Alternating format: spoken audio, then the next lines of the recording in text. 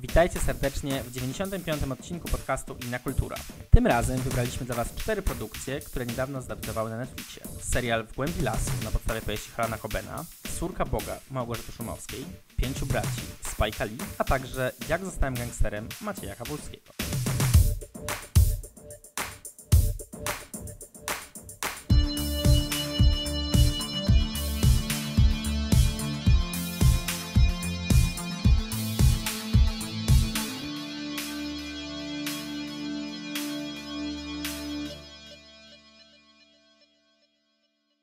Odcinek numer 95 podcastu Inna Kultura właśnie się rozpoczyna i jest ze mną Julia. Cześć Julia. Witam serdecznie. Ja nie. Ja też nie, ale za to jest z nami Michał. Dzień dobry, Janie. Kurczę, jaka energia. Widać, że poniedziałek. Słychać hmm. właściwie.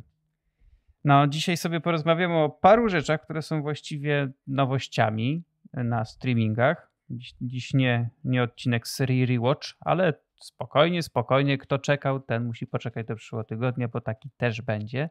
I dzisiaj mamy parę tematów i tak będziemy się wzajemnie w sumie uzupełniać, bo właściwie poza jednym tematem nie ma czegoś takiego, żeśmy wszyscy widzieli wszystko.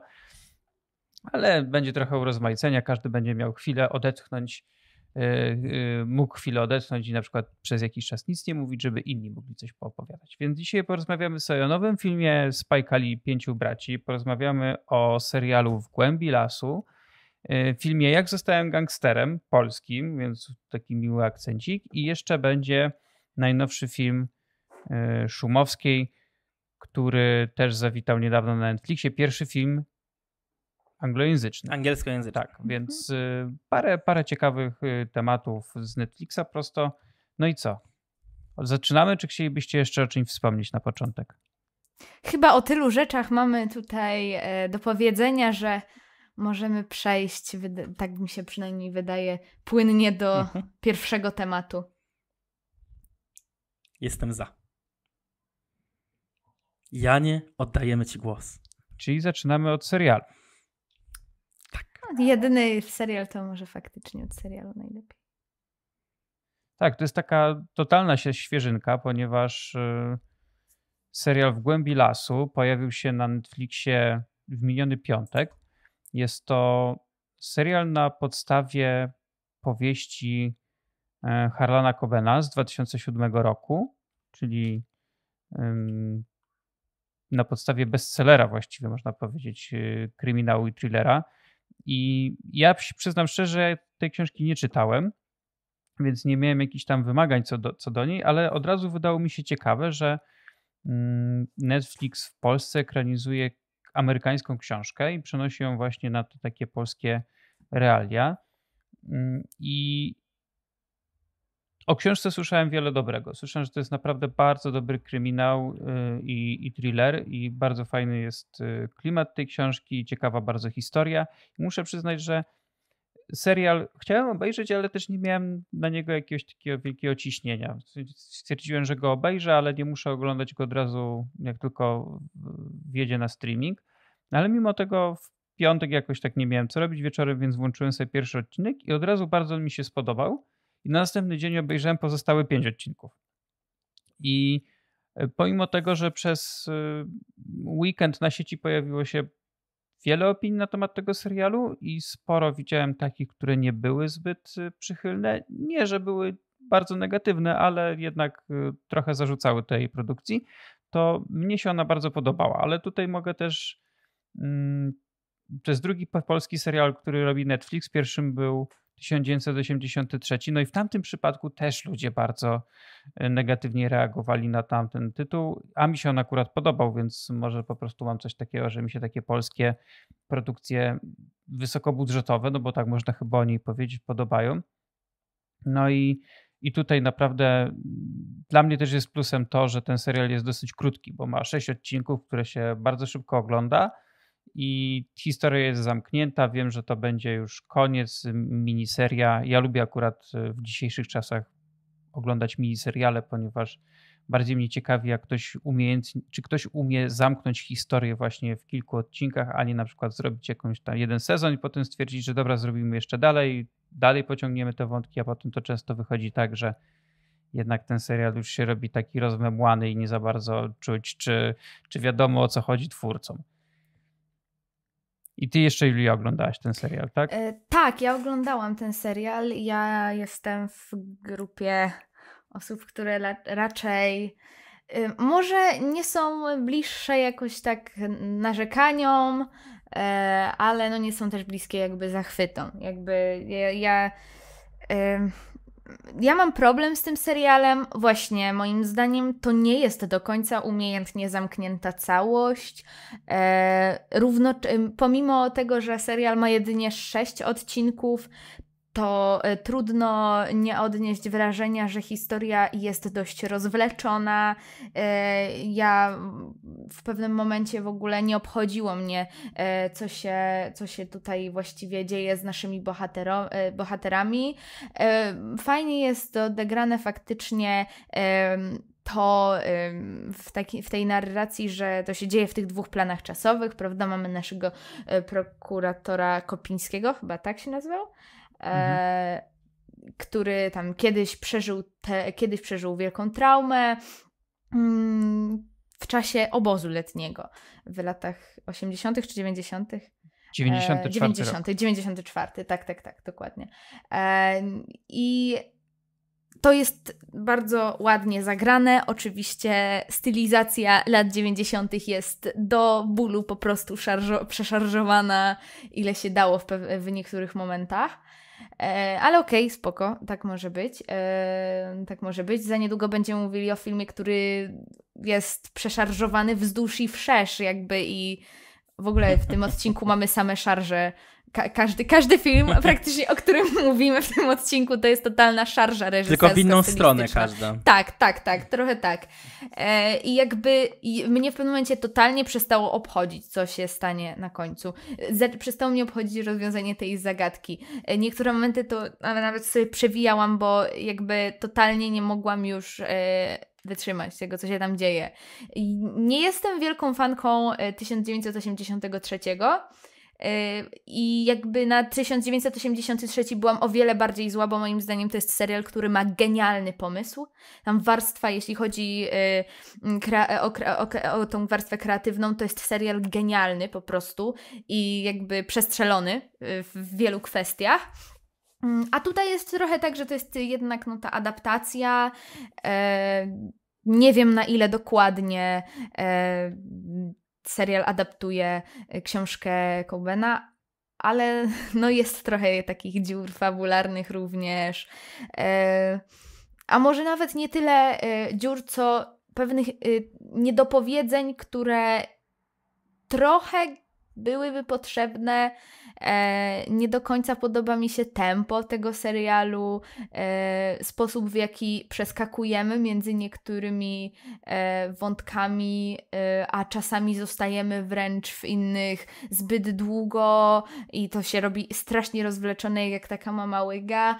E, nie jestem wielką fanką, na szczęście jest krótki, ale jak mówię, te sześć odcinków to była po prostu droga przez mękę i nie, jakby może nie drogę.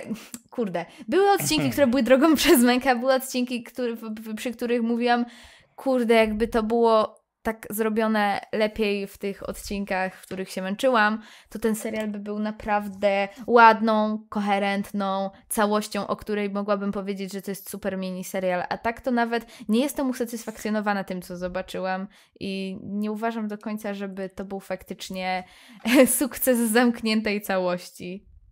Czy no mnie się, mnie się całość tak jak już mówiłem, podobała, chociaż na pewno też widzę minusy i uważam, że parę rzeczy można było zrobić lepiej. I tak jak ty powiedziałaś, też mi się wydaje, że pomimo tego, że tu jest sześć odcinków, to gdyby to trochę umiejętniej pociąć, to można by z tego zrobić cztery albo pięć i, i byłoby, to, byłoby to nieźle, bo były takie momenty faktycznie, które nieco się dłużyły. Mi się osobiście podobała ta stylistyka lat 90., pomimo właśnie tego przeszarżowania, o którym wspomniałaś, ale na przykład miałem taki problem, że czasami gdyby nie pewne szczegóły, to ciężko było mi odróżnić na przykład, czy w, którym, w której linii czasowej w tym momencie jestem. Były takie przejścia między niektórymi scenami, że myślałem, że jest kontynuacja y, jednej linii czasowej, a potem na chwilę nagle się okazywało, że to już jest druga. I trochę im brakowało takiego stylistycznego rozdzielenia tych, y, tych dwóch czasów. Mm, mimo wszystko no, te powracały mi takie nostalgiczne wspomnienia, wiesz, tych takich właśnie obozów letnich w latach 90., tak jak mi się, jak się jeździło na kolonie i w ogóle, bo to właśnie tego typu klimaty były. Mm, po raz kolejny niestety trzeba powiedzieć, że mastering dźwięku w polskich produkcjach leży.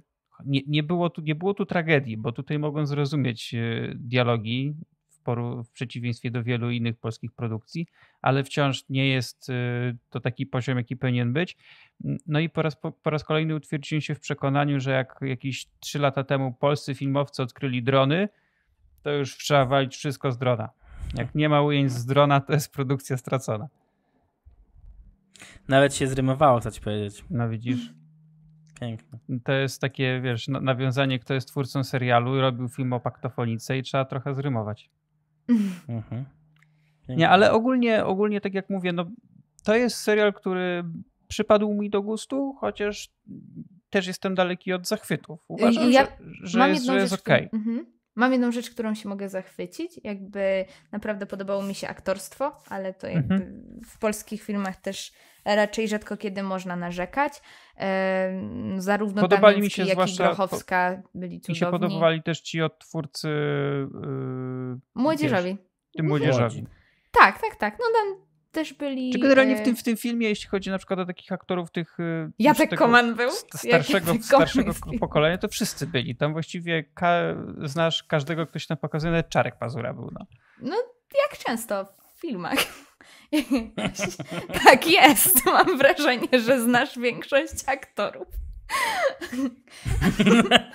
Ale, ale tutaj tak, no była taka śmietanka wręcz.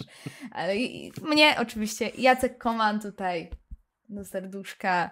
Jak Jacek Koman jest w filmie, to to ja zawsze po prostu zwrócę uwagę na to, że Jacek Koman jest w tym filmie. Ale no, to prawda, że yy, to yy, jeśli chodzi właśnie, mówiłeś o tych młodych aktorach, czasami jest ta kwestia, że cały film jest super, a młodzi aktorzy po prostu, no, coś tam w castingu. Zresztą wiadomo, że to jest też kwestia doświadczenia jednak, a tutaj, no też to, to nie są aktorzy jakoś mało doświadczeni, bo niektórych z nich, yy, Wiktorię, tą, która grała w właśnie Laurę w młodych latach, Wiktoria, Filus. Filus, Filus, tak. To ona już w którymś z kolei filmie jakby te też zawsze, yy, zawsze zwróci uwagę moją yy, no to ona grała w tym pięknym filmie y, Reakcja łańcuchowa, między innymi. I w Nic nie chyba ginie, genialnym, które chyba, jest. W hejterze chyba też grała. No, ale ja zapamiętam albo z tych filmów, y, ja raczej ją zapamiętałam z właśnie Reakcji łańcuchowej, której y, nienawidzę. To jest w ogóle film, y, można obejrzeć do śmiechu super jest. E, albo z Nic nie ginie, które jest genialne. Że to w ogóle jest film dostępny na playerze, więc i, i, jest świetny. I to była jej chyba dyplomówka, więc ja polecam tak po drodze, bo chyba nie mówiliśmy. A pokazała się jakoś, chyba w ten sam weekend co Hater, albo trochę później, jakoś tak. E, w sensie na playerze. No, bo to chyba na, no, na playerze jest. Więc tak. E, jest, jeśli chodzi o w głębi lasu, to jesteśmy raczej y, po dwóch różnych stronach, ale no może nie aż tak daleko, jakby się mogło to no, wydawać. w paru ja nie polecam. Się spotkamy. Tak. Ja ogólnie nie polecam. Ja polecam, ponieważ, no, tak jak mówię, ja się w historię wkręciłem, chociaż y, realizacyjnie faktycznie parę rzeczy mogłoby być trochę lepiej. Ale tak jak, jak wspomniałem o tych opiniach y, w sieci, no opinie są różne, więc widać, że tak samo jak i u nas, że jednym się podoba, drugim się nie podoba, no trzeba sprawdzić. E, chociaż od razu mówię, że jeżeli ktoś e, chciałby się przekonać, to niech obejrzy przynajmniej dwa odcinki, bo widziałem, że dużo ludzi się odbiło już po pierwszym odcinku e, i tam jest faktycznie taka dosyć długa ekspozycja i, i, można, się, można się odbić od tego, ale polecam obejrzeć przynajmniej jeszcze drugi. Jeżeli po drugim wam się nie spodoba, no to faktycznie dajcie sobie spokój, bo nie ma co. Ale to jest jeżeli... tak, jak się poleca Breaking Bad albo Office. ale przejdź przez pierwszy sezon. Po pierwszym sezonie się wciągniesz. Breaking Bad przeszedłem przez prawie dwa i się nie wciągnąłem.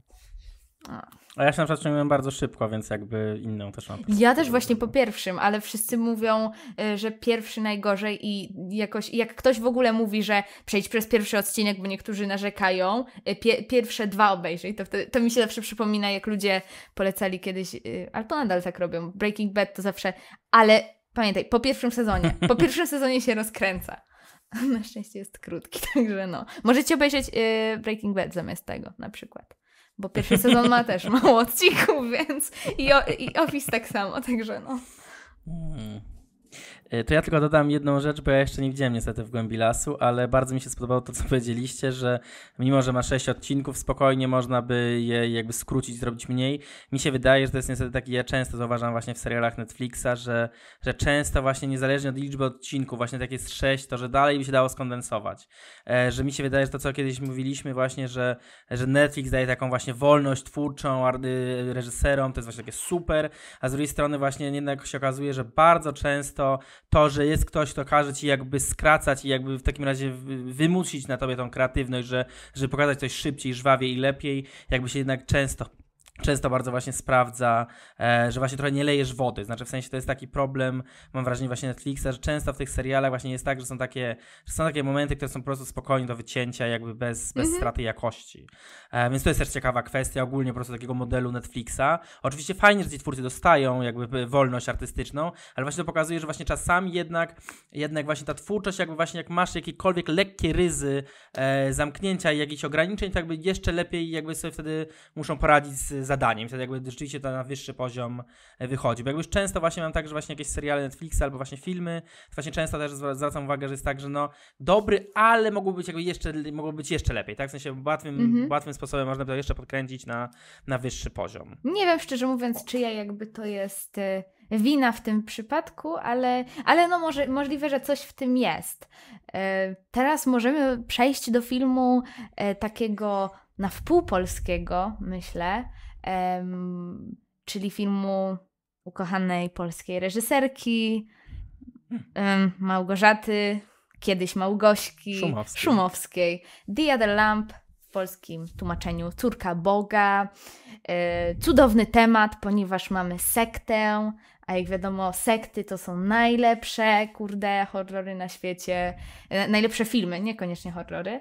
E, główna bohaterka, e, Sela, grana przez Rafi Cassidy, żyje w takiej społeczności prowadzonej przez pasterza. E, w tej społeczności on jest jedynym mężczyzną, stoi oczywiście o aparycji Jezusa, tak jakby. I w tej społeczności on jest jedynym mężczyzną, a kobiety dzielą się na dwie grupy. Są żony i córki. E, żony są, e, chodzą, bo to jest bardzo ważny aspekt tego filmu, żony chodzą ubrane na e, różowo, córki na niebiesko, czyli mamy jakby kolorystyczne zabiegi rodem z filmu Barbie, Księżniczka i Żebraczka.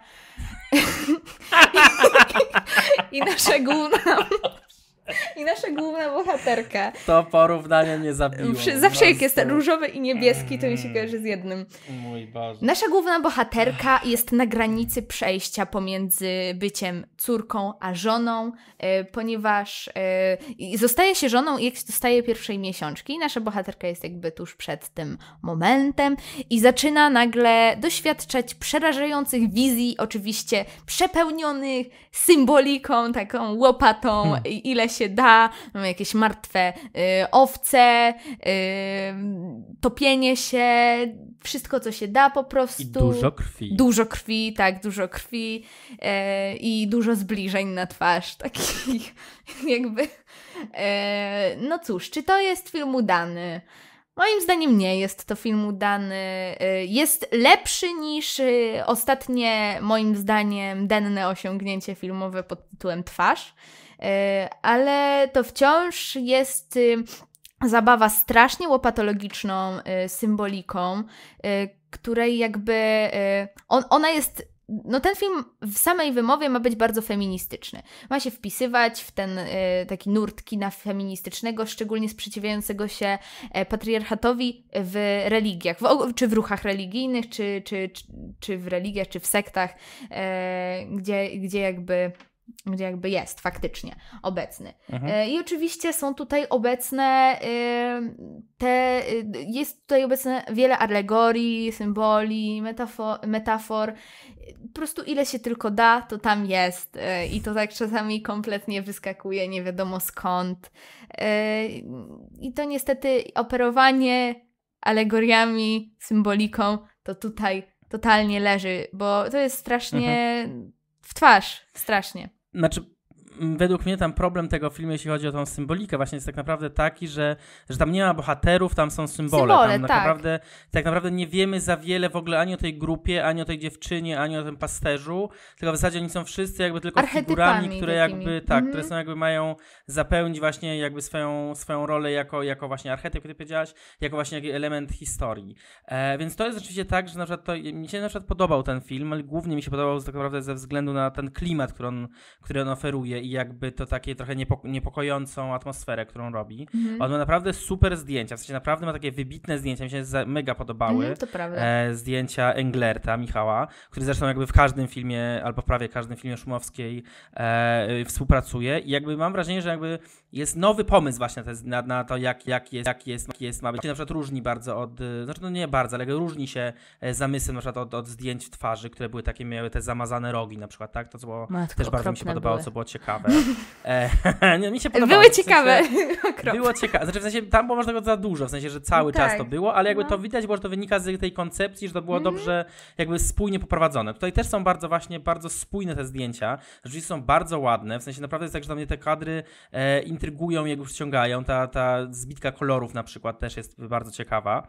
Ale tak naprawdę, tak, trochę tak jak ty też powiedziałaś, ja mam też taki trochę problem z tym filmem, że on tak naprawdę, on trwa półtorej godziny, czyli niby niedługo, ale tak naprawdę mm -hmm. on jakby w his warstwie historii, to on spokojnie mógł być kurczę krótkim metrażem, bo on jakby nie ma tyle treści, żeby zapełnić całe to półtorej godziny, bo w zasadzie on mm -hmm. od pewnego momentu jakby powtarza cały czas te same, te same rzeczy, w sensie te same pomysły i te same jakby w zasadzie sformułowania, które chce przekazać. Pierwsza rzecz jest taka, że ta symbolika i grub, w ogóle grubo ciosane manifesty, one w filmach y, pełnometrażowych co zresztą za chwilę kolejny film, hmm. który będziemy omawiać, też pokazał. Trochę? One po prostu nawet nie tyle giną, one strasznie męczą. Są strasznie męczące i e, tu nawet jakby e, gdzieś tam się ten przekaz faktycznie rozmywa e, czasami, bo z jednej strony no mamy e, feministyczne manifesty o tym, że no patriarchat to nie za bardzo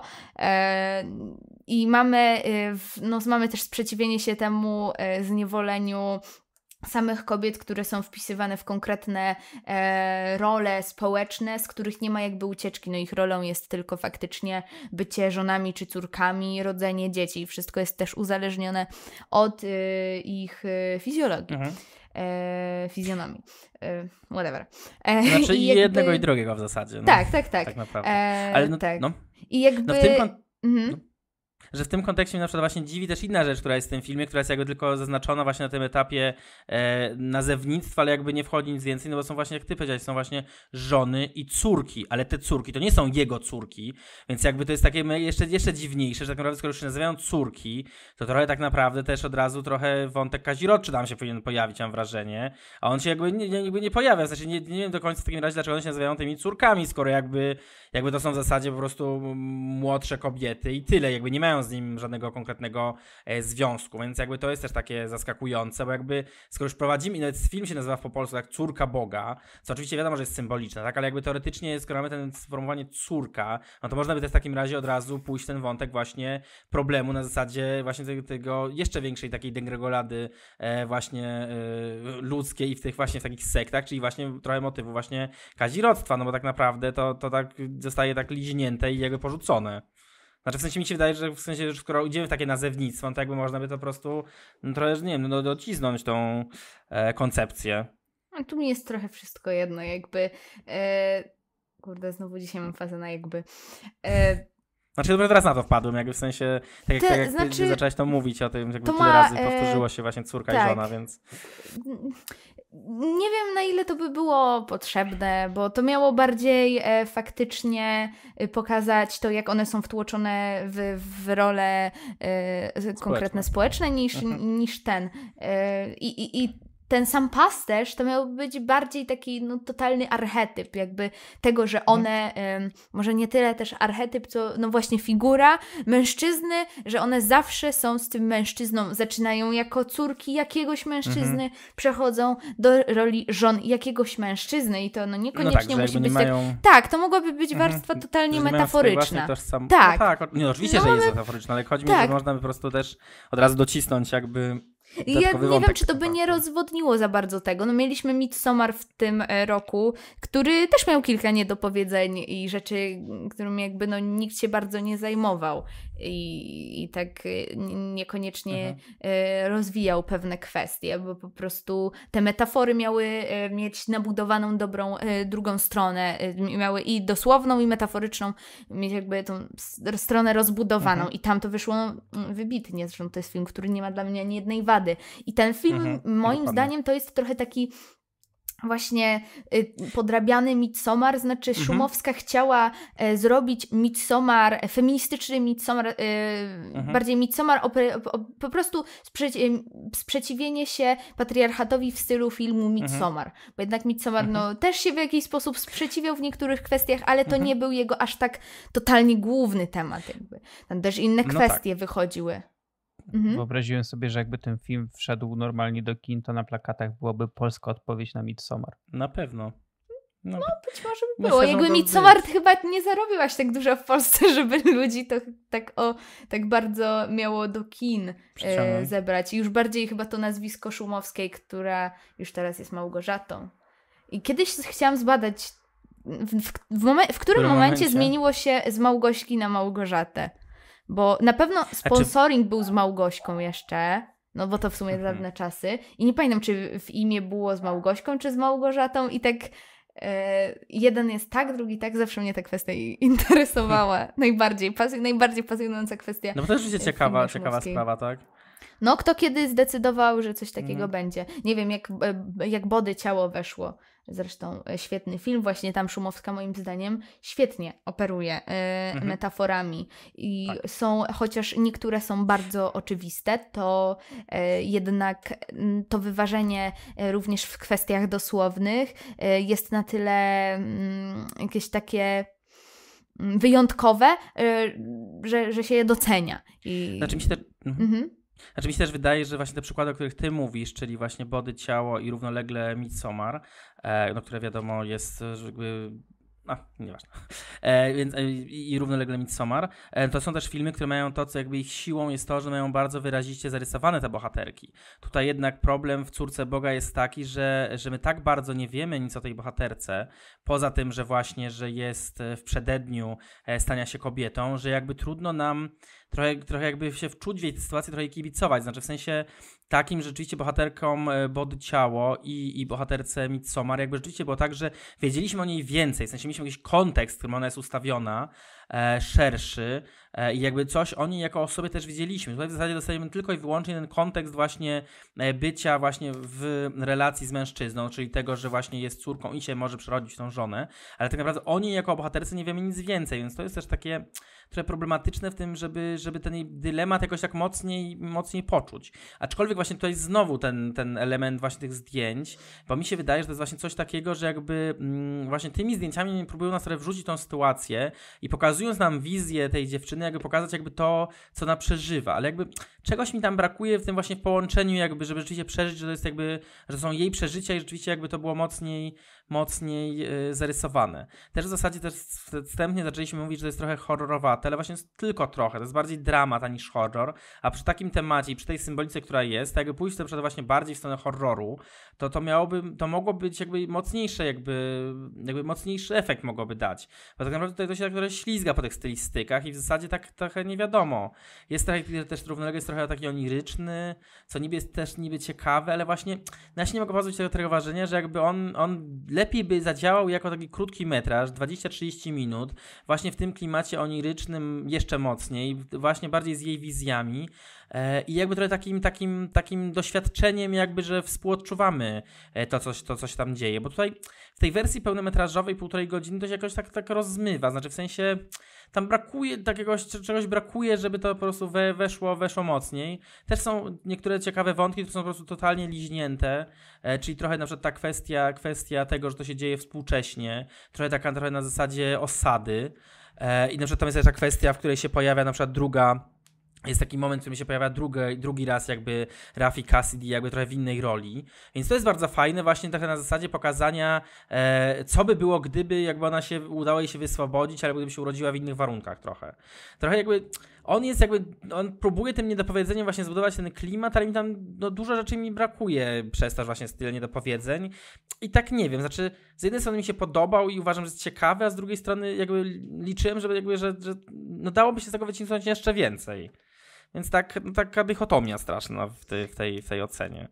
A mimo wszystko jakby właśnie dzięki, dzięki zdjęciom, wiem, że się powtarzam, ale jakby po prostu jest tak, że czasami, czasami rzeczywiście są um, bardzo intrygujące, rzeczywiście mocno, mocno, mocno na mnie siadają, więc rzeczywiście tutaj zdjęcia sprawiły, że jakby no ten seans rzeczywiście przyniósł mi jakieś e, dobre emocje, jakby rzeczywiście byłem zaangażowany w to, co się, to, co się dzieje. Bo rzeczywiście no, samo to po prostu patrzenie i chłonięcie tego, tego klimatu. No to ja jakby sobie mogę puścić, nie wiem, inny film z ładnymi zdjęciami. Mhm. Nie no, zdjęcia były jak najbardziej łatwe. Muzy- y, ładne. Muzyka była y, genialna moim zdaniem. Zresztą Rafi mhm. Cassidy również znakomita. E, tylko reżyseria, scenariusz trochę. Znaczy mi się wydaje, że będzie scenariusz chyba właśnie, tak trochę. Reżyseria też, no jak ona nie, moim zdaniem tu nie ma do końca wyważenia gatunków, nie ma rozbudowania sfery tej metaforycznej, e, a, a dosłownej, co też gdzieś tam w pewnym sensie leży w, w gestii w jakiś sposób reżyserki, mhm. więc o, uważam, że obie te y, zarówno reżyser, e, reżyseria, jak i scenariusz mhm. tutaj niestety nie do końca. No, same te zbliże, operowanie jakimiś zbliżeniami, e, tymi ujęciami na owce, czy tam kozy mhm. i tak dalej. Coś I tam są też tak... takie trochę trochę też takie ujęcia, ale Vertigo niby zrobione, które też są takie nie no, do końca tak, potrzebne. Tak, nie wiadomo jaka jest ich rola. Tak, ja właśnie akurat te fragmenty teraz przypomniałem, że są takie i też nie wiedziałem właśnie za bardzo on po co, po co one tam, po co one są, bo nic nie dodają tak naprawdę. No, to, tak, tam no. jest to jest średnia, jakby liczyłam na więcej, bo scenariusz zapowiadał um, moi, zwiastuny zapowiadały moim mhm. zdaniem um, coś zdecydowanie lepszego i naprawdę byłam zaintrygowana, jak zobaczyłam mhm. E, trailer tego filmu.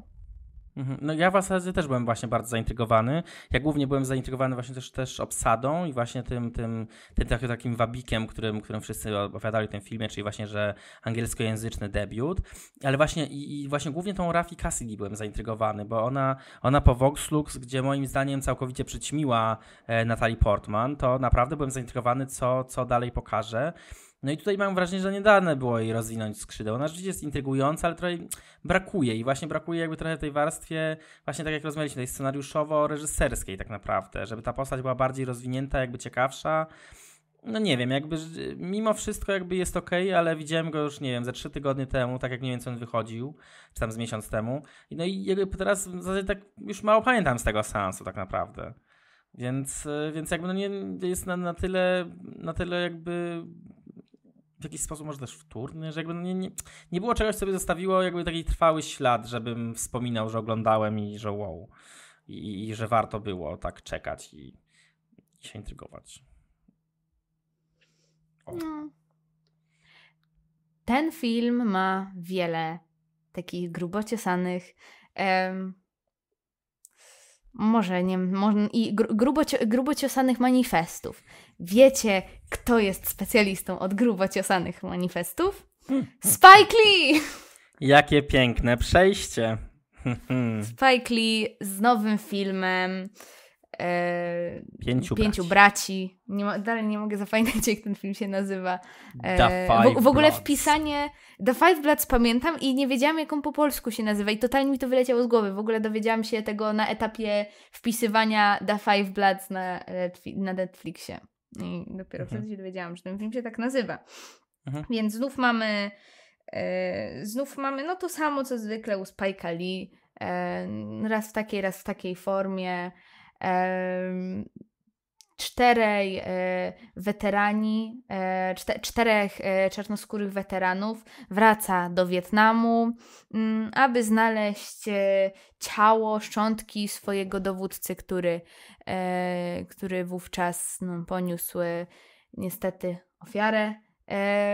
I razem z tym szukają skarbu. I cóż, to jest punkt wyjściowy i to się Mhm. ciągnie przez długi czas bardzo. Tak, no to, to, to ja może Dwie od i razu pół właśnie- godziny ten film trwa. Właśnie, że przez długi czas. To jest właśnie problem główny tego filmu, że on trwa 2,5 godziny, a tam intrygi jest na, na co najmniej o połowę mniej. Bo on w zasadzie w bardzo wielu sekwencjach po prostu jakby powtarza to, co już widzieliśmy i w zasadzie jakby nie daje nam nic nowego i oni po prostu krążą po tej dżungli, krążą i się nic nie dzieje. A równocześnie, na przykład koniec końców, wprowadzona jest taka piękna kurczę Deus Ex Machina, czyli na przykład y, złoto, po które przyjechali, znajdują je przypadkiem, tak? Więc jakby, no skoro już tak szukacie długo, to można by chociaż pokazać, że jakbyś jakoś zrobili, to nie wiem, że się nasilili, żeby je znaleźć, a nie, że a, jest, fajnie. Więc to jest taki strasznie dziwny film, który mam wrażenie, że trochę napięciem nie potrafi operować, bo w zasadzie jakby te sceny jakby nie wydają się do czegoś konkretnego prowadzić, mam wrażenie. Znaczy w sensie tam, tam nie narasta żadne napięcie. Jakby tam no nawet, właśnie nawet trudno mi o tym filmie opowiadać, bo po prostu na tyle mnie jakoś tak w zasadzie nawet znudził, że jakby nie trudno mi jakoś powiedzieć jakby jakiś, jakiś pozytyw trochę. Nie wiem jak to nie wiem jak to określić. E, Jeśli chodzi o pozytywy w tym filmie, uważam, że w jakiś sposób jest nimi. E, b, są nimi aktorzy e, i muzyka. Muzyka jest u Spike'a Lee e, dość, w dość niekonwencjonalnej formie zwykle. E, I okej, ona, jest, ona jest bardzo spoko. Jeszcze tak, Terence Blanchard, jak zwykle. E, czy nie wiem, jak zwykle, w osta- do ostatniego też robił. E, może tak. E, I co? Mhm. Tu jest bardzo ładny No właśnie- koncept wyjściowy. Dawno nie, e, nie było tego e, e, revisitingu e, w- wojny w Wietnamie. I Mhm. dawno nie było poruszania tych e, traum e, wojny w Wietnamie, które gdzieś tam e, dalej e, są zarówno po jednej, jak i po drugiej stronie. Dawno tego nie było, a przypomnijmy, że no były czasy, kiedy to był właściwie główny temat i to Mhm. były czasy, które trwały dwadzieścia parę lat. Mm, Kiedy praktycznie filmy o wojnie w Wietnamie wychodziły bardzo często. Mhm. E, więc Spike Lee tutaj gdzieś, gdzieś tam e, postanowił em, wyrzucić e, ten temat wojny w Wietnamie e, i tej traumy, również w pewne spół, współczesne problemy, które gdzieś tam najlepiej obrazuje, myślę, e, ta- takie wprowadzenie, czyli ten dialog z pierwszych minut filmu, e, w szczególności między bohaterami. I tam jest Mhm. dużo takich dyskusji, oczywiście łopatą po prostu po ryju, Mhm. jak się tylko da. Mm, ale I Powiem rozumiem, tak. taka to, totalna Mhm. ekspozycja, to jest taki problem. tak, trochę. To totalna, jakby- totalna. Znaczy to w zasadzie w ogóle ten początek tego filmu to w zasadzie w ogóle bardziej wygląda jak taki wideo essay, trochę teledysk, aniżeli film właściwy. Bo on jest taki po prostu pozbijany z tych elementów, to tak jakby nie... Tak jakby nie, nie, wychodzi to naut- nie wychodzi to naturalnie w tych rozmowach z tymi bohaterami, tylko właśnie przez to, że na przykład mamy te wstawki, e, wstawki zdjęciowe, archiwalne, to jest taki właśnie trochę taki trochę essay, trochę taki strasznie łopatologiczny, właśnie jak ty powiedziałeś, właśnie taki mo- bardzo mocno ustawiający kontekst, ale w taki nienaturalny sposób. Znaczy, Znaczy, to jest tak, Takie- Spike Lee nigdy nie był reżyserem, to powiedzmy sobie subtelnym, to, to nigdy, to nie jest Spike Lee. Jakby Mhm, tam e, każdy, każdy film, e, czy to jest Do the Right Thing, czy to jest Ona się doigra, czy to jest Black Klansman, czy Malcolm X, czy to jest Pięciu Braci, tam nie ma subtelności jakby zbyt wielkich. Ale Mhm. one czasami są ograne bardzo ładnie. E, I jak ja. E, powtarzałam niedawno Black Klansman i uważam, że to jest zdecydowanie gorszy film niż myślałam, kiedy ten film był na Oscarach. Jedna, Mm. jedna rzecz tam jest lepsza. E, Uważam, e, po, po, po przejrzeniu sobie wszystkich aktorów drugoplanowych, uważam, że Adam Driver powinien wtedy dostać Oscara, bo to była zdecydowanie rola najciekawsza z nich wszystkich. Mm, A reszta rzeczy jakby y, moim zdaniem jest tam trochę grubymi nićmi szyta.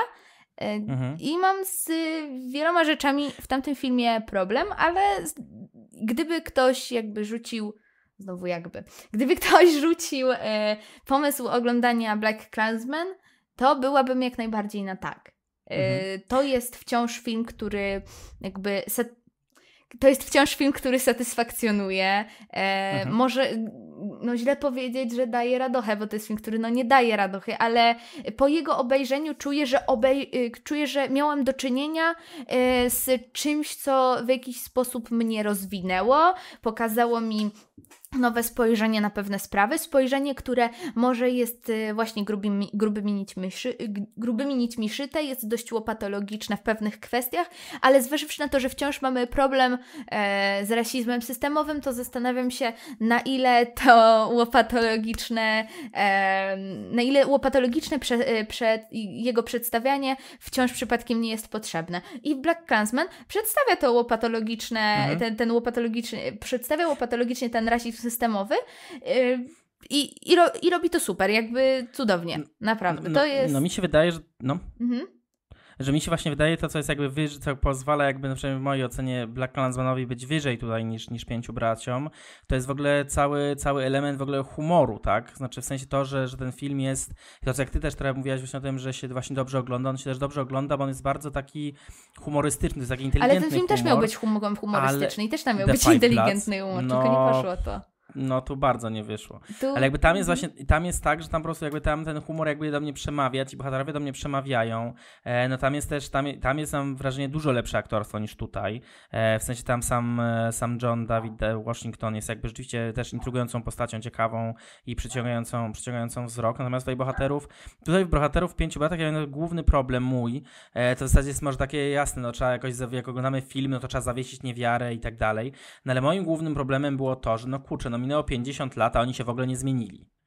I jakby, jakby w zasadzie cały czas wyglądają tak samo. I jakby, no to było dla mnie też takie, takie trochę wybijające w jakiś sposób, e, bo jakby, jakby nie, w zasadzie oni też niby się borykają, niby borykają się z tą traumą, ale to jest tak naprawdę go też do końca tak nie widać dobrze. Jakby w sensie, mimo że tutaj właśnie, tylko to, tutaj teoretycznie są zarysowani ci bohaterowie dobrze, ale to jest tak, że są tak zarysowani, że w ogóle żaden z nich jakoś nie, jego historia do mnie nie przemawia w pełni. Jakby nie, nie, nie czuję jakiegoś, jakiegoś e, jakby nie czuję, nie czuję jakby ich problemu, e, jakby żeby był też moim problemem w jakimś sposób. Znaczy jakby ci bohaterowie nie są na tyle jakby wyraziście zarysowani, żebym ja się jakoś tak zżył z tym, co, co tam coś się dzieje, że to jest znowu trochę takie, takie postaci symbole, a nie, a nie takie postaci z krwi i kości. Jakby Mm. oni mają rzeczywiście prawdziwe problemy, na przykład główny bohater, tak, i, i cały, cały problem w ogóle PTSD i, i tak dalej, ale jakby no to jest tak pokazane, że jakby no, no to jest jakby no, jakby ani, bo z jednej strony to ani nic nowego, a z drugiej jakby no nie, na- nie na tyle jakby ciekawie pokazane, żebym, żebym to jakoś jak kupił, nie wiem. Black Klansman miał, to do, y, miał też to do siebie, że był filmem znakomicie wyważonym międzygatunkowo. I jeśli mogę się jakoś czepiać tego, może to nie jest film, który ma pe- jest pełen wad, po prostu jest pełen rzeczy, których ja jakby nie lubię, nie trafiają do mnie aż tak mocno, ale uważam, że to jest film niesamowicie, by, by, by, był, jest nadal, film niesamowicie potrzebny, film znakomicie zagrany, znakomity pod wieloma względami tymi technicznymi, jeśli chodzi w szczególności zdjęcia, muzykę. I on reżysersko jest bardzo dobrze tutaj e, rozegrany między jednym a drugim. Nie wiem na ile tam e, scenariusz bardzo dobrze sobie radzi z materiałem źródłowym, e, który jest. Nie wiem jaki jest, nie czytałam, ale no, wyszedł z tego film bardzo dobrze napisany, więc Mhm. to się ceni. I właśnie nie wie, znaczy to, to nie jest tak, że sam humor powoduje, że Black Klansman się tak dobrze ogląda, tylko ten humor i nie sam inteligentny humor, nie. tylko on jest tak zbalansowany dobrze, w sensie w Pięciu Braciach właśnie w Pięciu Braciach humor jest jedną z najgorszych rzeczy, kurde, bo tu Tak, jest tak dużo rzeczy, tak, on, y, czy on by mógł, jego mogłoby tu być, na, y, on, on mógłby tu być, gdyby był Jakby był trochę... dobrze zrobiony. Tak, gdyby był em, dobrze zbalansowany razem z tymi dramatami głównych bohaterów. I A tak, to jest straszny Tak, miszmasz. Jakby tam same miałem te- taki problem, że ja Mhm. nie wiem w zasadzie jakby... Jakby do tego do mam taki problem, że nie wiem do czego ta historia zmierza. Ten film naprawdę trwa 2,5 godziny. Niby mamy Mhm. zarysowany ten problem na początku, ale potem jak oni już trafiają jakby do, do tego lasu i zaczynają rzeczywiście te poszukiwania, to ja nawet nie do końca wiem jakby do czego ta historia zmierza. W sensie jaki jest cel tego, co oni robią. A to jest to jest- bardzo szkoda właściwie tego, bo e,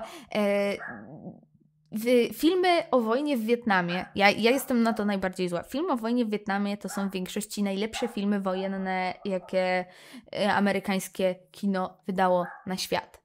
E, Zresztą tutaj mamy odwołania e, takie dość e, dosłowne do czasu apokalipsy, który się przewija praktycznie cały czas Mhm. i też, też bardzo po ryju, bo nawet mamy mm, Ride Tak. of the Valkyries, więc jakby to jest tutaj bardzo obecne, ale no Czas Mhm. Apokalipsy był filmem, który faktycznie rozwijał język mówienia em, o, o wojnie.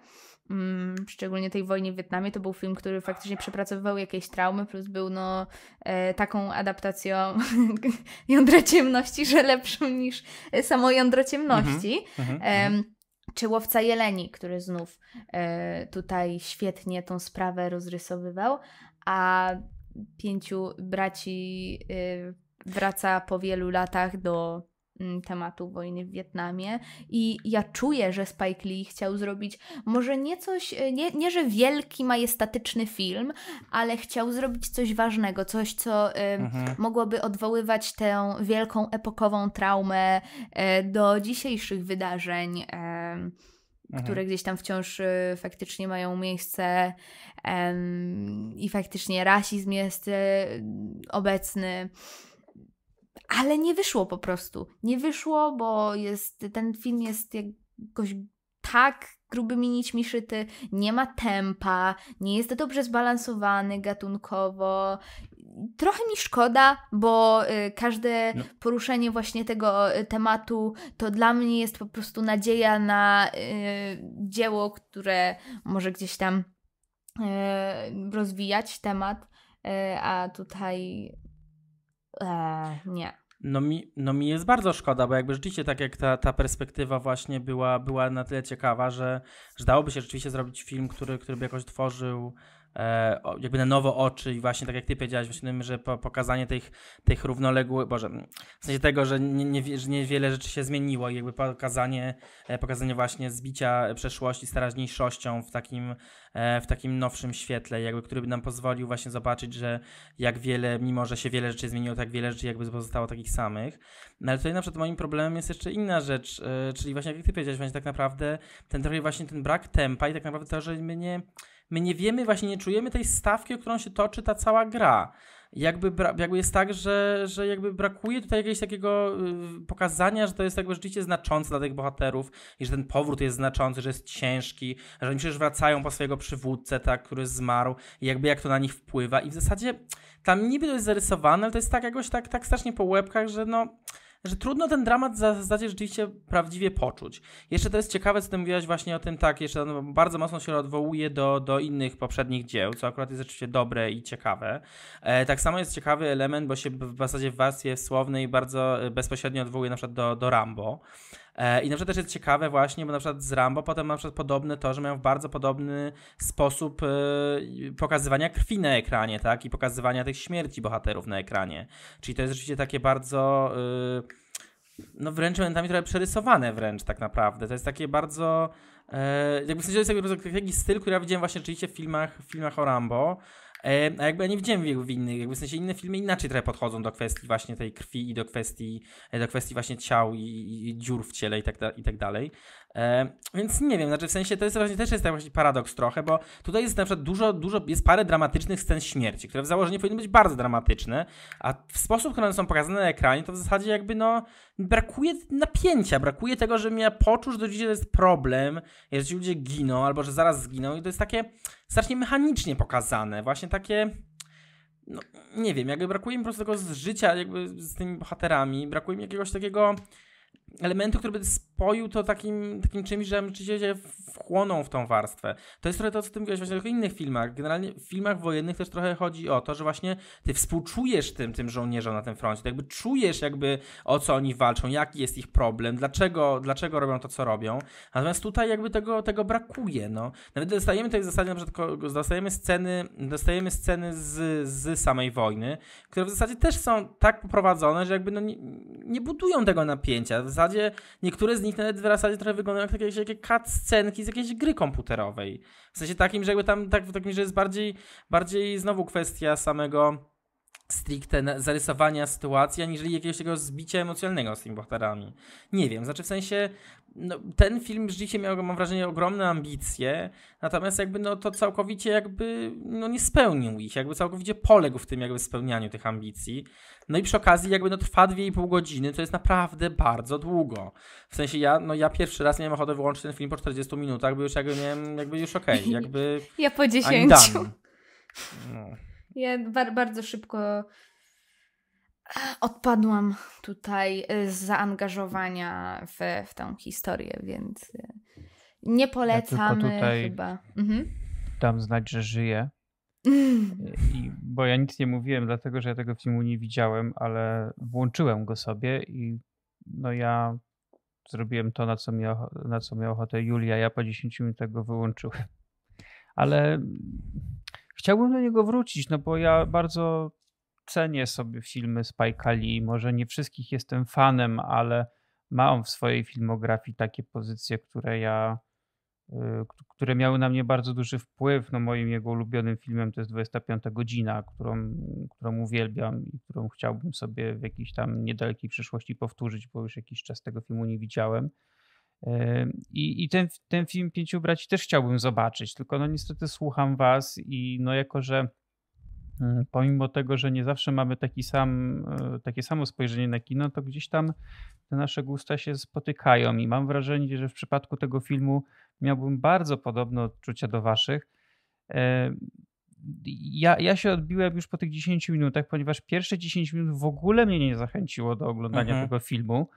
A jeszcze jak zobaczyłem, że on trwa, tak jak wy mówicie, 2,5 godziny, no to to już jest jakiś znak, że coś poszło nie tak chyba jak powinno, e, ponieważ wydaje mi się, że kiedy porusza się ważne problemy, tak, bo tutaj mówicie o wojnie, też, też na pewno rasizm, to są, to są takie tematy, jeżeli się chce o nich mówić, to trzeba widza trzeba sprawić, żeby widz chciał, y, chciał na ten temat słuchać, tak? Bo nie każdy oczywiście chce, bo to nie są tematy lekkie, a na tematy, na tematy lekkie zazwyczaj ludzie słuchać nie chcą. Znaczy nie lekkie, na, na ciężkie tematy. Y, więc no ja mówię, po 10 minutach już stwierdziłem, że ta forma chyba nie jest do końca dla mnie. Y, ale mimo wszystko kiedyś do tego filmu sobie, sobie wrócę i, i będę chciał dorzucić jakieś tam swoje dwa, dwa grosze do mhm. tych waszych słów, bo no bo jestem go ciekaw, no ale jednak zachęcony nie jestem. No bo niestety ci powiem też tak, że tak naprawdę te 10 pierwszych minut jest bardzo jakby charakterystyczne dla tego filmu. Znaczy w sensie on potem się nie robi lepszy. W sensie to jest tak, że to jest po prostu rzeczywiście bardzo jakby on to jest jakby, jakby on już w tym klimacie zostanie, to jest już jego szczyt, jakby w sensie on nie ma, nie ma ani idzie w górę, ani idzie w dół. I on w zasadzie ten jakby, no i to jest, to jest problem, bo jak on generalnie po prostu cały czas zostaje w tej stylistyce, no to jakby nawet nie ma tak, że właśnie, nie wiem, przetrwaj pół godziny, znaczy pierwsze, po, pierwszą połowę, a potem się rozkręci. Na przykład. Nie, nie, on cały czas jest w tym samym stylu i on po prostu jakby no cały czas ciąży człowiekowi. I jakby, jakby właśnie ja na przykład miałem taki problem, że nie wiedziałem trochę, co ze sobą zrobić, znaczy w sensie, bo ja naprawdę nie wiedziałem, do czego ta historia, jakby do czego ta historia dąży, jakby czy miałem być w zasadzie zaintrygowany w tym, w tym filmie? Jakby tam są takie tak naprawdę nieprawdziwi bohaterowie, tylko tacy właśnie znowu, tak jak, tak jak też, też jak na przykład u Szumowskiej, tacy takie symbole tak naprawdę. Jakby to jest też taki problem, że, że właśnie znowu jakby nie, ja nie czuję tego zbicia emocjonalnego z bohaterami, to jest mi potrzebne bardzo. Natomiast jeśli chodzi jeszcze o trochę formę, bo teraz też spojrzałem i właśnie trudne tematy, to też na przykład ja mam taki ciekawy właśnie przykład a propos formy i, trudnych tematów. No na przykład ja jestem dużym fanem, akurat widziałem raz ten film, ale dużym dużym fanem filmu Shairak, który właśnie formą mnie urzekł najbardziej, bo on jest po prostu bardzo, bardzo dynamiczny, bardzo, bardzo specyficzny w tym, co, w tym, co pokazuje, jest bardzo przerysowany. E, też opowiada o trudnym temacie, tak, czyli o kwestii, o kwestii strzelanin w Chicago, E, i jakby ogólnie o, o tym, jak, jak się czarnym ciężko żyje w, w Chicago i jakie jest, jaka jest wielka przestępczość, ale ten sposób pokazania tej historii jest na tyle angażujący, ciekawy, że ja rzeczywiście w zasadzie od początku już jakby wszedłem w to tempo wszedłem w ten rytm, e, natomiast no tutaj jest tak, że właśnie ten rytm początkowy jakby jest na tyle ciężki i na tyle taki niezachęcający, że naprawdę się rzeczywiście męczyłem oglądając ten, tych pięciu braci. E, dostajemy na też jest ciekawa kwestia, na przykład właśnie dostajemy, nie wiem, postać Chadwicka Bosemana, który w zasadzie jakby jest totalnie wykorzystany. Co jest też takie smutne, bo jakby też był znaczącą, znaczącą postacią, która powinna być jakby bardziej rozwinięta. On się pojawia od czasu do czasu, ale jakby no też brakuje jakiegoś takiego, takiej kropki na D. Jakby tam po prostu tak jak Julia powiedziała, tam w zasadzie jakby serce trochę jest w dobrym miejscu, pomysł jest dobry, ale jakby zabrakło jakiegoś takiego jakby no, lepsze, jakby lepszego właśnie, nie wiem, rozpisania tych problemów, rozpisania tych, tych bohaterów. No po prostu no, no, polega na bardzo wielu, bardzo wielu miejscach niestety. To prawda. Nie polecamy. Ogólnie. No niestety bardzo nie polecamy. E, to jest możemy? taki, jak na razie to jest taki odcinek pod tytułem Nie polecamy. No, tak, odcinek tak, hejterski odcinek, y, ten inna kultura, kropka hejter. Inna kultura na nie. Czyli przechodzimy teraz do filmu, który właściwie choć również przeszarżowany, choć również nie bez wad, y, to moim zdaniem, mo moje serce przynajmniej ujął chyba najbardziej. Czyli z jak... dzisiejszych na pewno. Tak, z dzisiejszych, tak, tak, tak. E, czyli jak zostałem gangsterem. Historia prawdziwa. Historia prawdziwa, tak. Nie pomyl filmu.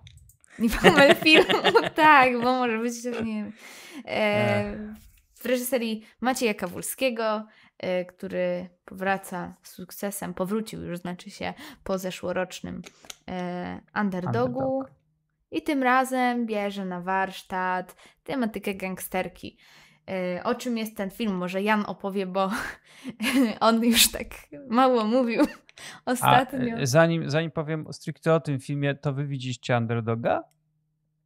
Ja nie. Bo, bo ja też nie miałem okazji, chociaż y, słyszałem sporo dobrego o tym filmie i powiem wam szczerze, że jak zostałem gangsterem, jakby tak sprawił, że chcę sobie nadrobić Underdoga. No właśnie o tym samym chciałem powiedzieć, że właśnie być może też, też bym miał ochotę, bo jak zostałem gangsterem, rzeczywiście na tyle mi się podobał, że, że w sumie jestem ciekawy, jak, jak to wyszło. Ja e... widziałam Underdoga mhm. no. i jest spoko.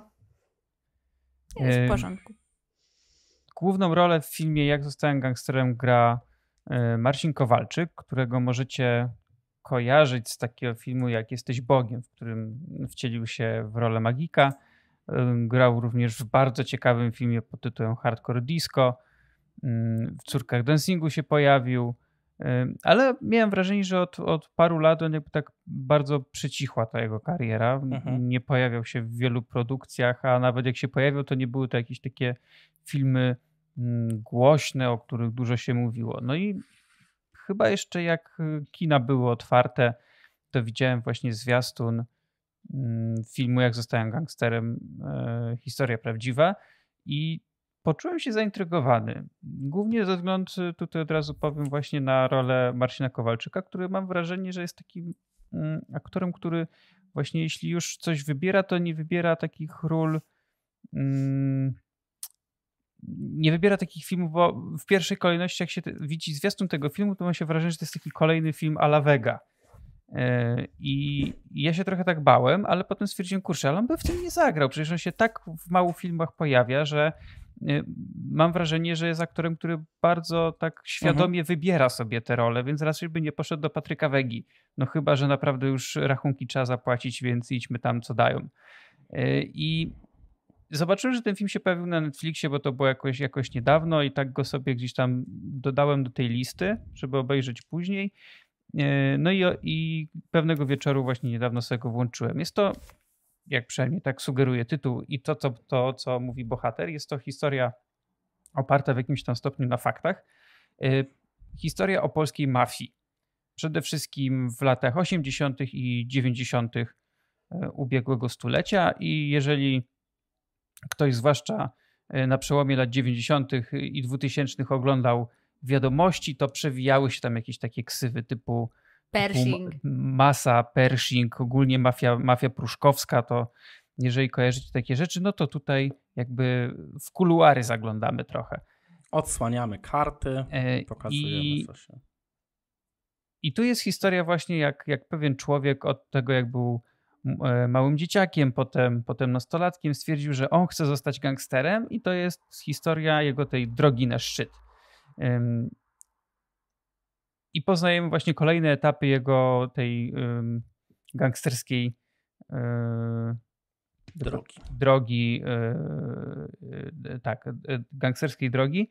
I muszę powiedzieć, że sama historia jest naprawdę bardzo ciekawa, mimo tego, że jest dosyć prosta i możemy bardzo łatwo przewidzieć, jak ona się potoczy. To jest wciągająca, ale to, co mnie w tym filmie chyba najbardziej urzekło, to jest jego forma. To jest to takie przeszarżowanie, o którym Julia mówiła na początku naszego odcinka, ale to jest przeszarżowanie w taką fajną, świadome. w taki świadome i, w taką fajną stronę. Mi się właśnie y, tu też przypomina Hardcore Disco, w którym też właśnie mm, Kowalczyk grał parę lat temu. Tamten film też był, y, był tak świadomie szarżowany w rozmaite strony i to tutaj naprawdę znakomicie zagrało. Dodatkowo mamy mm, bardzo dobry humor. Moim zdaniem narracja tego filmu jest bardzo, bardzo dobra, ponieważ y, główny bohater jest też naszym narratorem i opowiada całą tą historię, ale Mm, jest ona też w taki sposób y, świadomy, dowcipny, często mhm. też trzymający w napięciu. Tutaj trochę kart odsłoni, tutaj później dopiero dopowie i naprawdę mi się to bardzo spodobało. I pomimo tego, że ten film trwa 2 godziny 20 minut, czyli tylko 10 krócej niż pięciu braci, y, to naprawdę bardzo szybko mi zleciały te ponad dwie godziny i moja żona sobie wtedy, w, trakcie, kiedy ja oglądałem ten film, moja żona sobie tam grała na konsoli, w coś się pyta, co oglądasz? Ja mówię, to jak zostałem gangsterem. No, ona stwierdziła, Boże, już chyba naprawdę ci się nudzi. A ja jej potem powiedziałem, że to jest naprawdę niezły film, który myślę, że gdybym obejrzał go w kinie, to nawet bawiłbym się jeszcze lepiej, bo to jest taki film, gdzie razem z publiką można fajnie, fajnie go przeżywać. Nie wiem, co wy o tym sądzicie. Mm. Michał, możesz zacząć, bo ja chyba Dobrze. będę najbardziej hejterskim głosem w tym towarzystwie. Zastanawiam się właśnie a propos, czy w ogóle, znaczy szczerze mówiąc w ogóle nie myślałem o kontekście przeżywania go razem z kimś w kinie.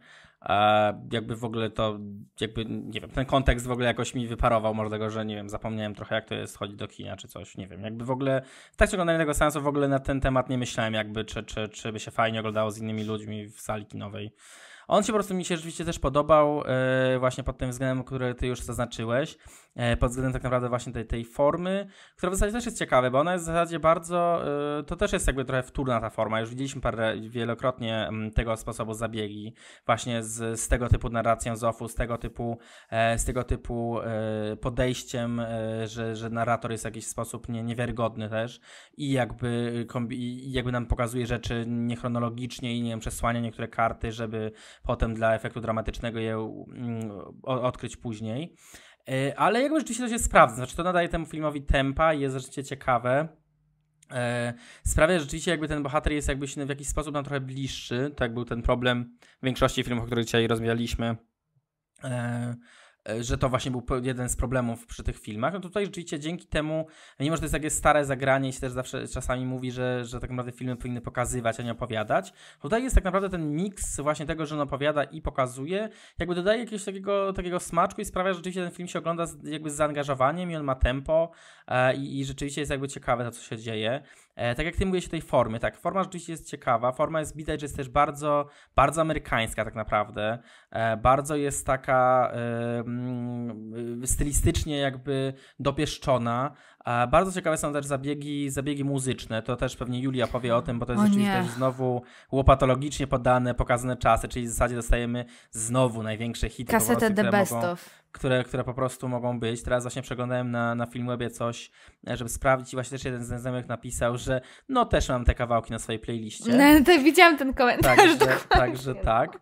E, to idealnie oddaje jakby tak. o co chodzi, o co chodzi z tej muzyki. To jest, to jest niezłe. Znaczy to jest też takie ciekawe, bo to jest też bardzo ciekawie ta muzyka ograna, e, czyli jakby od razu pokazuje też e, reżyser jakby do jakich twórców, do jakich dzieł próbuje się odnosić. Mnie na przykład bardzo zaskoczył moment, w którym się nagle pojawia Mobi z, z, z trylogii Borna, tak? tak? I to jest bardzo ciekawe, że to w ogóle się pojawia i to jest takie od razu stawia ten film w, jakby w jakimś kontekście, tak? Jakby do kogo próbujemy się porównywać.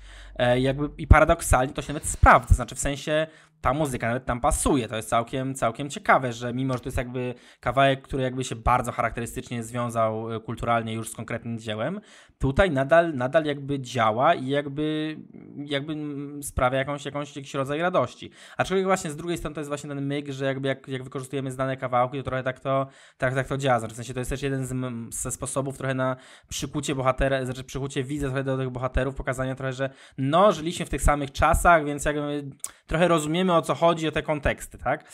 Ale nie wiem, mimo wszystko to nawet się, nawet się sprawdza. E, sama historia jest rzeczywiście też, też, też ciekawie rozpisana.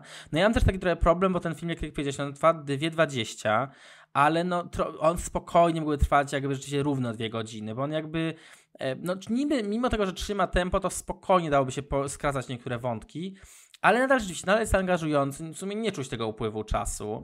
E, jest to, jest to rzeczywiście ciekawe. E, no jest to w sumie taki dość klasyczny film poprowadzony, ale właśnie wykorzystuje jakby, e, świadomie wykorzystuje te zabiegi, które są często używane w kinie. E, i jakby widać właśnie, że to jest taki trochę też produkt, który rzeczywiście jest jakby bardzo świadomy całej, całej stylistyki, której, którą operuje, jakby pokazuje reżyser w wielu momentach, że jakby że trochę odrobił pracę domową jakby z tego rodzaju kina gatunkowego i że jakby czuje go i, i zna i, i dobrze, w nim, dobrze się w nim odnajduje, więc to rzeczywiście się ciekawie ogląda e, i jest interesujące. Na pewno, na pewno właśnie aktorsko, tak jak, tak już zauważyliśmy, jest bardzo dobry. E, Martin Kowalczyk rzeczywiście po raz kolejny jest rzeczywiście bardzo, bardzo uwagę i bardzo ciekawy. No mi się bardzo też podobała rola e, Włosoka, który Walden, jest no Walden jest rewelacyjny w tym Który filmie. jest po prostu rzeczywiście takim, takim wulkanem jakiejś takiej energii, takim po prostu nie wiadomo co, nie wiadomo co za chwilę zrobi. I to jest rzeczywiście naprawdę dobrze zagrane, w sensie to jest naprawdę, naprawdę ciekawe.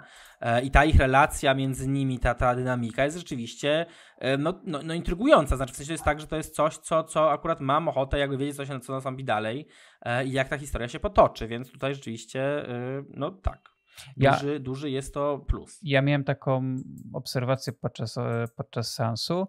To jest chyba i wada i zaleta jednocześnie, że reżyser zanim zaczął kręcić film, obejrzał masę amerykańskich filmów o gangsterach i potem mhm. postanowił zlepić to e, w polskich realiach, e, zrobić taką zlepkę rozmaitych e, banałów, ale też takich rzeczy, które rządzą się po prostu tym kinem gatunkowym. I z jednej strony to jest mhm. zaleta, bo, bo jest tu naprawdę sporo ciekawych zabiegów, ale z drugiej no taki widzisz po prostu, że tutaj mm, tutaj jest jest świeżość w tym filmie, ale momentami jest jej za mało, że czuję, że to jest po prostu mhm. odtwórcze. Y, mimo wszystko dla mnie to jest taki film, którego się nie spodziewałem. To jest, to jest y, z mojej perspektywy to jest jego największa zaleta, że nie, ja się nie spodziewałem, że ja zobaczę taki film. Ja myślałem, że ja zobaczę taki właśnie coś typu kolejny Vega albo coś w, w podobnym klimacie, a to jest coś, co mi dostarczyło radochy, dostarczyło Mm, trochę jakichś tam emocji. Wiadomo, że w pewnym momencie wiedziałeś, jak to wszystko się skończy, no bo, bo, bo to leciało na jakimś tam schemacie, ale mimo wszystko oglądało bo się to główny bohater dobrze. to wyjawił. też. A to też prawda, tak, to też jest, trochę, też jest troszkę problem właśnie. Nie, tego nie uważam, że to jest problem. Ja się nie uznaję tego za problem. Film ma Znaczy, to zapomniałem w pewnym momencie. Więc no, tak. więc właśnie dlatego mi się jakoś to, mi to jakoś utkwiło pani z tą sceną. Dobra, no to tak. Zacznijmy od tego. ja bardzo czekałam na ten film. Bardzo, bardzo, o. bardzo. Ja jak zobaczyłam trailer w kinie, to mówię idę na ciebie filmie. Zresztą ja widziałam kawu- e, underdoga Kawulskiego wcześniej, więc jakby wiedziałam, że to jest y, reżyser, który wie co robi. Wie, w jakiś mhm. sposób wie co robi. No oglądał się masę amerykańskich filmów i ja ja uważam, że to jest duży plus, bo jeśli chcemy robić y, y, kino gatunkowe w kraju, w którym kino gatunkowe wszędzie różnie, to musimy najpierw się uczyć od lepszych.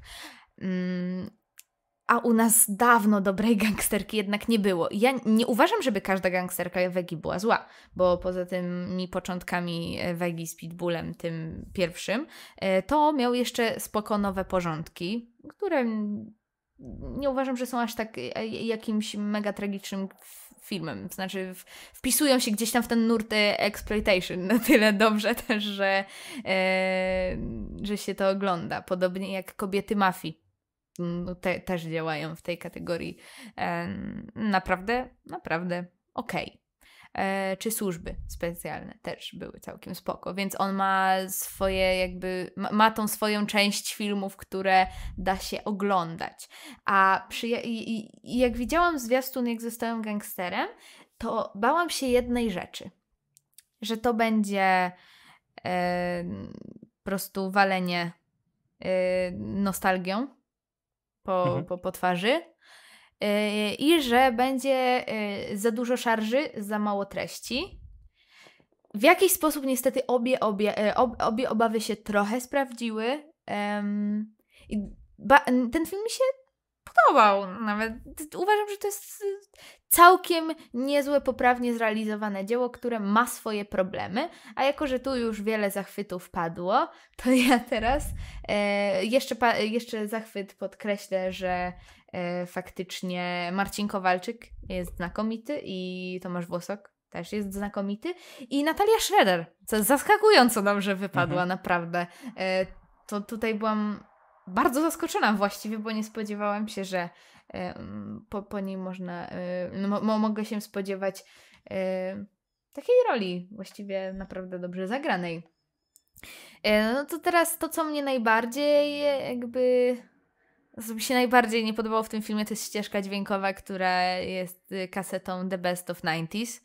Mhm. I to jest strasznie denerwujące, jak ktoś kiedyś, nawet w którejś recenzji chyba padło takie sformułowanie, że doszło do tego, że w połowie filmu autor zaczął się zastanawiać, podobnie jak ja, więc dlatego go cytuję. Nie pamiętam już kim był, ale to się w wielu pojawiało, więc e, podzielam to, że w pewnym momencie zaczęłam się zastanawiać, czy mnie się podoba ten film, czy te piosenki sprawiają hmm. mi przyjemność. E, mhm. I no, powiem szczerze, że y, super, kiedy byłem małym chłopcem, ja rozumiem całkowicie, że musiało się jakby znaleźć i tak dalej. I, i, i hity pewne, oczywiście. Ale czemu jedna piosenka się kończy, druga się zaczyna? I cały film to jest po prostu jedna wielka składanka. Trochę jest tego moim zdaniem za dużo i to mi faktycznie przeszkadzało. Podobnie mhm. jak e, sama forma i narracja z OFU, które jak na początku e, są świetną ciekawostką, e, i bardzo to ubarwiają, to w pewnym momencie bardzo męczą. I Bez ich za dużo. Tak, jest ich za dużo, są niekoniecznie w odpowiednich momentach. I to mi trochę przeszkadza. Y, równocześnie, ja bym chciała bardzo podkreślić, że ja na ten film patrzę troszkę jak na w lesie dziś nie zaśnie nikt. Y, znaczy, odbieram to jako. Um, pewno, pewien eksperyment e, zrobienia znowu filmu, e, który jest bardzo mocno zakorzeniony w gatunku mhm. i korzysta z jego takich dobrodziejstw, z jakichś tropów, e, które w pewnym sensie są bardzo już wyświechtane, ale czemu ich tutaj nie pokazać w nowej formie na polskim podwórku? Mm, po, w, roku 2020. I to jest, ja, ja, bardzo, bardzo to doceniam. Ja bardzo doceniam odwagę u reżyserów, szczególnie u reżyserów polskich, bo wi wiadomo, że na tej kinematografii mi zależy jednak najbardziej w, tu, tutaj. E, I ten film naprawdę wiele rzeczy y, spełnia bardzo dobrze. Tak jak już mówiłam, aktorstwo jest świetne, sam pomysł na formę e, również, ale trochę w pewnym momencie ja się czułam strasznie tym filmem zmęczona i co ciekawe, Ja nie wiem jak wy, ale ja na przykład obejrzałam te napisy końcowe z efektem z VHS-u całe. To mi się bardzo podobało. Ja w ogóle lubię takie smaczki tak, w fajne. stylu. To, to było strasznie y, hamskie zagranie, w sensie to, to znaczy hamskie. No, y, nie, nie jest to jakieś. Y, y, może Ale tak. to się sprawdziło. To No, się spra- sprawdziło. Sprawdziło się. Mhm. W pewnym momencie nie wiedziałam, czy płakać, czy śmiać się, bo było, miało to y, potencjał być dość śmieszną, e, Mhm. dość, dość śmiesznym zabiegiem i w niektórych momentach było.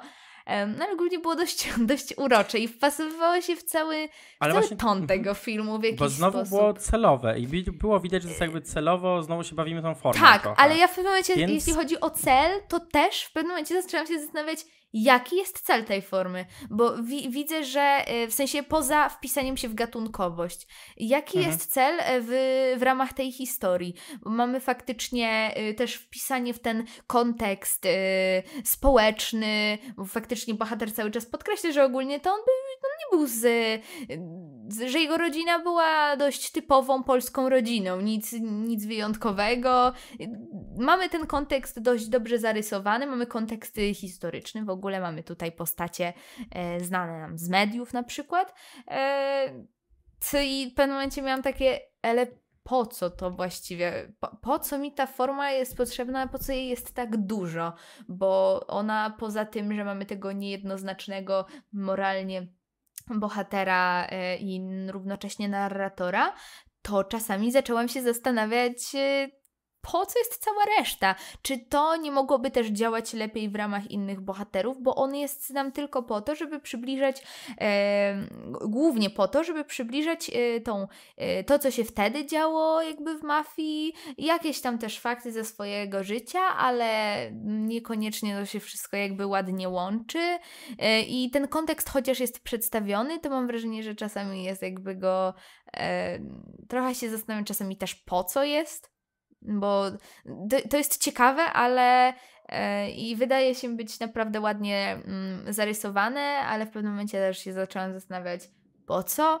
I dużo miałam takich pytań reżyserskich, po co? Bo wi- widzę, że to jest celowe i że to jest świadome, ale yy, zastanawiam się, jaki jest za tym ten cel czasami i y, szczerze mówiąc, e, trochę tego nie, nie, nie odkryłam, więc y, no spoko film, ale y, mam, mam trochę takich uwag, które mi przeszkadzały i trochę mnie pewne rzeczy w nim faktycznie męczyły. Mhm. Ale tak to spoko. No. Tak. I w sumie to jest faktycznie z tych wszystkich filmów, które tutaj oglądaliśmy y, do tego odcinka, chociaż y, najbliższa wydaje mi się gdzieś tam swoją estetyką być może y, ta mm, córka Boga Szumowskiej.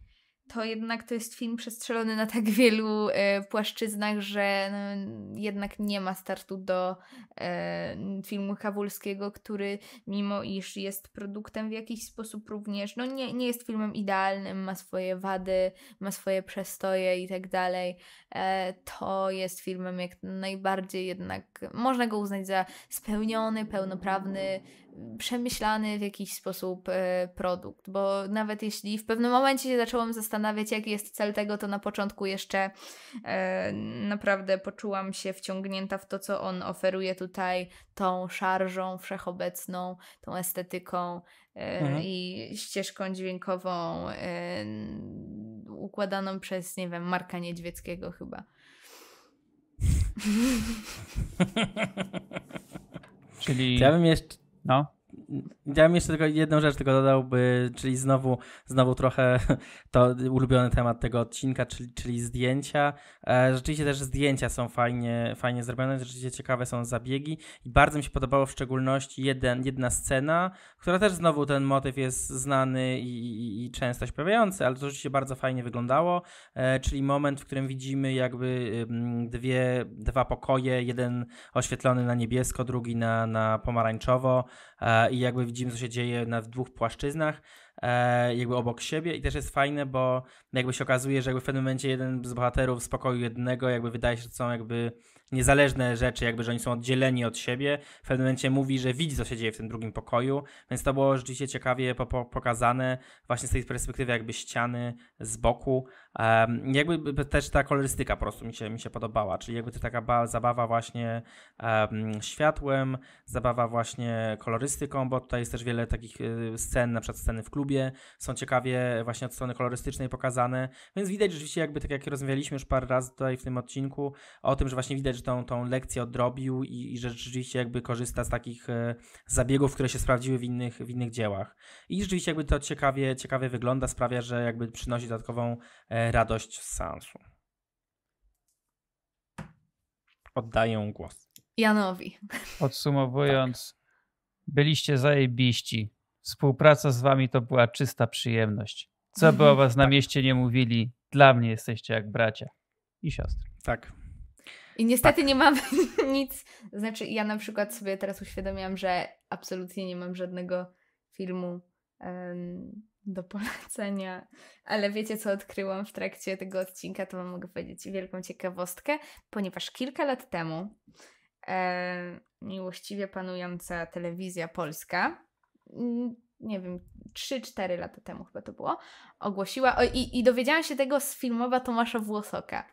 Także to jest pozytyw mm. tego odcinka, ogłosiła produkcję o jednej z najlepszych i najwybitniejszych postaci, jakie żyły w ogóle w tym pięknym kraju mlekiem i miodem płynącym, czyli o Agnieszce Osieckiej. I ja bardzo na ten serial czekałam, bo uważam, że Agnieszka Osiecka to jest po prostu, to była po prostu wybitna osobistość, znakomita. I okazało się, że ten serial ma już jakby dość szeroko y, zarysowaną obsadę i uwaga, większość ma już dopisane postacie poza Tomaszem Włosokiem, który nie wiadomo jeszcze mm. chyba kogo mm. będzie grał. Y, zobaczymy mm. tam Elizę Rycembel i Magdalenę Popławską, ale to akurat wiadomo było już wcześniej. I Karolina Piechota zagra Marylę Rodowicz. I niestety będzie tam mm. również Mikołaj Roznarski, który zagra Wojciecha Frykowskiego. Y, także to jest dość ciekawe. Mm, akurat połączenie Roznarskiego w roli Frykowskiego. Ale to jest ciekawe, bo ten serial cały, już generalnie już dwa razy miał wychodzić i nadal właśnie wyjść nie może. Znaczy on więc... bardzo y, długo jest produkowany? Nie wiem do końca, czy to... Bo o Postprodukcja tak długo zajmuje. Tak, chyba tak. Nie wiem, Bo on czy... jest jakby nagrany od dawna.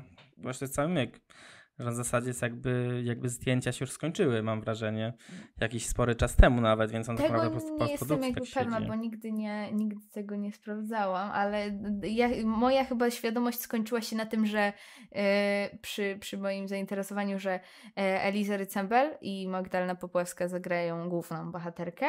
E, gdzieś mi się obił ten Roznerski w roli Frykowskiego i Żurawski.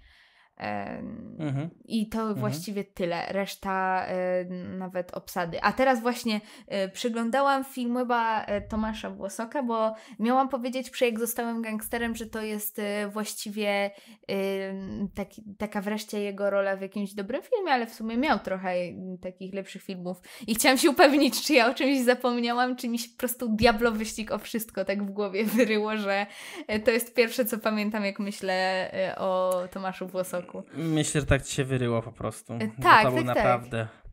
ciężki sens. naprawdę, to było doznanie, doznanie mocne. Do przeżycia tak. jakby. Tak. No, więc... Aczkolwiek w sumie się spodziewałem, że będzie jeszcze bardziej dosadne i jakby trochę szedłem właśnie tak, żeby się, żeby się prześmiewczo go wyśmiać, a on na zasadzie był na tyle średni, że nawet się wyśmiać go nie dało tej jakby jego słabego poziomu, więc to było jeszcze takie w sumie smutniejsze. To był taki zły poziom na smutno trochę, więc to było takie, no cóż, no, no niestety. O, Jan Hrynkiewicz tam gra w tym filmie, a on gra teraz w każdym filmie, w sensie w tym serialu w Osieckiej. Mhm. Gra w każdym filmie teraz, więc ja gdzie w polski film nie pójdę. No ale patrz, Bo, Boże Ciało, Pius Ludzki, Nic nie ginie na samym festiwalu w Gdyni to był normalnie jak ten. Hater teraz. Jak ten, jak e, jak nie wiem, jak Daniel Ogrodnik. Podobno w przyszłym roku tak ma być, że będzie Ogrodnik w kilku filmach równocześnie. Więc cóż. E, miejmy nadzieję, że te filmy będą dobre, że będą lepsze niż filmy, które, o, o których powiedzieliśmy Wam w kolejnym odcinku podcastu Inna Kultura. Już zbliżamy się do setki. Nie wiem, czy zauważyliście, ale zbliżamy się do setnego odcinka. Nie powiemy Wam, co jeszcze tam nagramy, możecie się tylko domyślać. Mm. No i cóż, miejmy nadzieję, że... Inne emocje będą nam towarzyszyć w najbliższych odcinkach Mhm. również. Tak, to na pewno, ponieważ znów y, będą, będzie rewatch, ale będą też y, pojedyncze filmy. Miejmy nadzieję, że lepsze. Mhm, kolejne. Nie wiem, ma coś w ogóle teraz wychodzić z filmu? No, pewnie coś wyjdzie na pewno, ale no kurczę. Inna kultura. Julia, rozmowa sama ze sobą. Ale i tak czy siak jesteście zajebiści, więc. Co by o was nie mówili na mieście. Na Słuchaj- macie szacunek. Słuchajcie, bardzo wam dziękuję Nadzieje, za... emocje, szacunek to ładne było. Bardzo wam dziękuję za rozmowę, chociaż ja byłem trochę rzadziej e, w niej uczestniczyłem. Ale widzisz, ile cierpienia y, nie miałeś przy filmach, jakby. No, No jednak. nie masz czego żałować. Jesteś bardzo dobrym gospodarzem, dając nam taką platformę wypowiedzi. Ale y, ja tu jeszcze tak na sam koniec, jeżeli chcielibyście jednak coś, y, coś ciekawego, coś dobrego obejrzeć, to niedawno wyszedł piąty sezon Queer Eye na Netflixie, więc, O, tak, tak, tak. To więc jeżeli chcecie sobie trochę popłakać i pooglądać y, masę pozytywnej energii, to, to włączcie sobie, bo to jest bardzo dobry sezon. Moim Szczególnie zdaniem, pierwszy odcinek, Tak. który jest. W, pierwsze odcinki większości sezonów są jakoś tak. Tam jest. Ale to jest w ogóle bardzo dobry sezon, bo na przykład czwartego sezonu zupełnie nie pamiętam. Yy, najbardziej pamiętam chyba trzeci. Yy, a ten, ten piąty jest naprawdę każdy odcinek. Chyba na razie obejrzałem, jeszcze brakuje mi chyba dwóch czy trzech odcinków do końca, bo ja sobie to Mhm. tak dawkuję. Ja też. Yy, I chyba jeden odcinek był taki, że był mi, wiesz, że taki byłem emocjonalnie obojętny, a nareszcie to po prostu wiadro łzy i zmywanie mokrej Czyli podłogi. jak zwykle. No. Więc y, to tak na sam koniec y, chciałem tylko polecić. No i co? Pozytywnym akcentem. Pozytywnym akcentem kończymy. Żegnamy się. To był 95. odcinek podcastu Inna Kultura. Słyszymy się za tydzień z odcinkiem z serii Rewatch. Nie mogę się doczekać. Mam I nadzieję, że wy też. specjalnym gościem. I jeszcze będzie gość. O, właśnie. Jeszcze będzie gość, więc będzie nasz I czwórka. współpraca z nim to też czysta przyjemność. Tego jeszcze nie wiemy. Ale ja wiem. Domyślamy się. Inaczej byśmy go nie zapraszali, więc. Właśnie. Poza tym chciałem po prostu Oczywiście. powiedzieć ten tekst, który mi Jan skadł, bo ja zacząłem ten odcinek z myślą, sko- opowie- opowiedzmy o jak zostałem gangsterem na końcu, bo chcę powiedzieć ten tekst, więc Jan go sobie ukradł, nie? Więc jakby próbuję wcisnąć w każdy możliwy sposób. Dobra, ja się żegnam y, i oddaję głos Michałowi. Dziękuję. Ale już spoko. Pozdrawiamy. Do usłyszenia. Do usłyszenia.